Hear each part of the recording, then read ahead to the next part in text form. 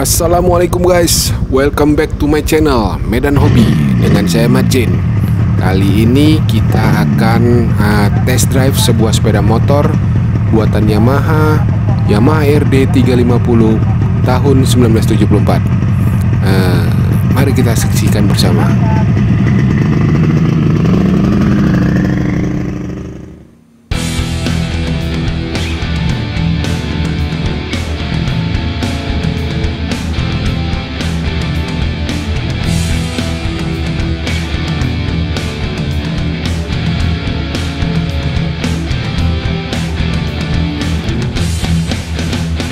Sebelumnya uh, jangan lupa uh, untuk men-subscribe dan like uh, channel kita guys ya. Oke. Okay. Yamaha RD 350 ini adalah sepeda motor dua tak diproduksi oleh uh, pabrikan Yamaha dari Jepang mulai tahun 73 hingga tahun 75. Yang saya kendarai ini adalah buatan tahun 74. Jadi uh, dengan 5 kecepatan terus remnya udah tromol rem depan udah tromol. E, mesinnya ada air cooler system pendingin udara ya paralel. Di beberapa e, negara ada yang menggunakan 6 speed 6 kecepatan.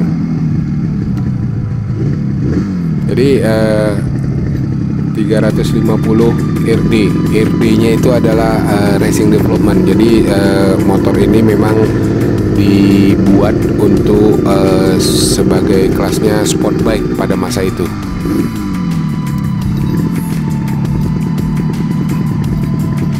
Yamaha RD 350 ini uh, dilengkapi dengan injeksi oli otomatis. Jadi uh, tidak perlu mencampur bensin dengan um, oli dua tak. Seperti motor-motor uh, dua tak pada saat itu.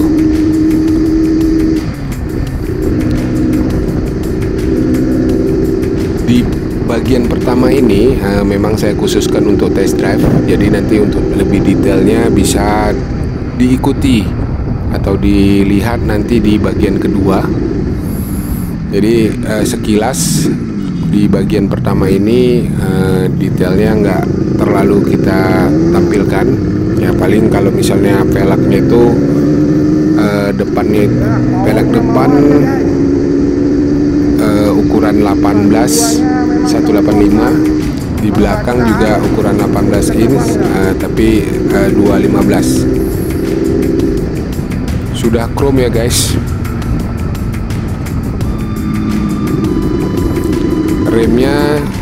rem depan cakram yang belakang tromol.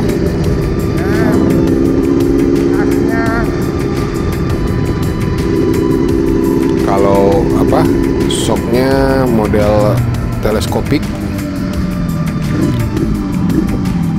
Kemudian eh, apa catnya itu khas Yamaha merah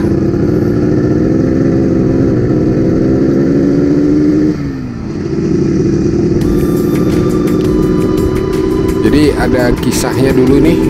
Kalau di zaman uh, setelah muncul RX King yang sering dipakai untuk uh, balapan. Ada anekdot kalau belum bisa dekat-dekat dengan RD 350 ini mending nggak usah turun balapan. Memang sangat tenaganya sangat uh, dahsyat ini guys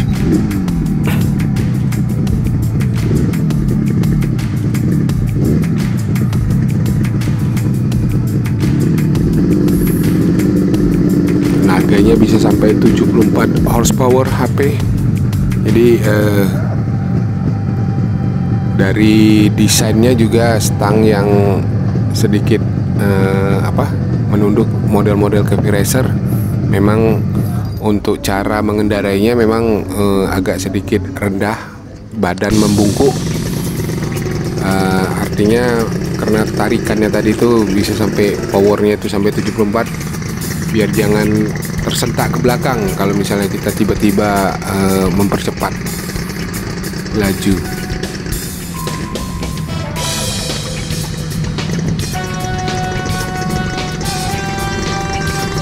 Yamaha RD350 ini ternyata paling banyak ada di India. Sampai di India itu diberi nama tersendiri Yamaha Rasdod 350 Oke uh, silahkan menyaksikan video ini sampai tuntas uh, bagaimana motor buatan tahun 74 masih sangat layak untuk dikendarain dan ya bolehlah menjadi koleksi bagi para pecinta motor klasik.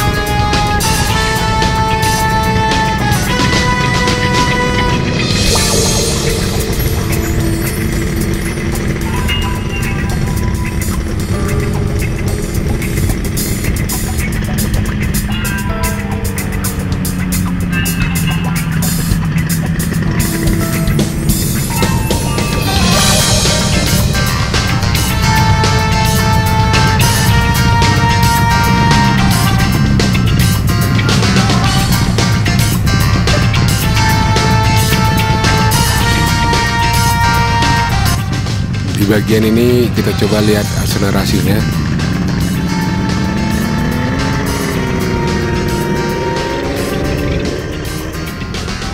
Eh, terus terang saya sendiri nggak berani sampai uh, mengeber motor ini sampai pol ya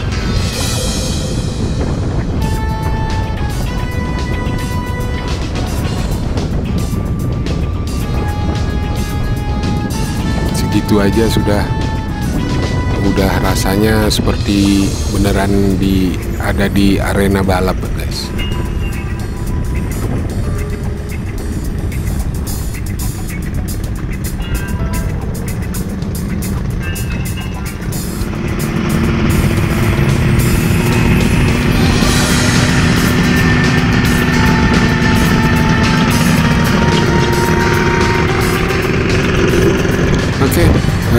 segini aja.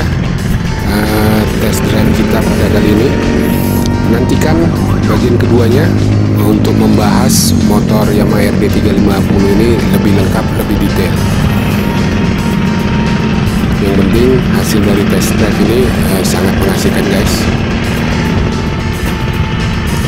Jangan lupa sekali lagi untuk uh, yang belum subscribe di subscribe like komennya juga kami tunggu guys Adios amigos permios, hobi kami tidak mahal, gengsimu yang mahal.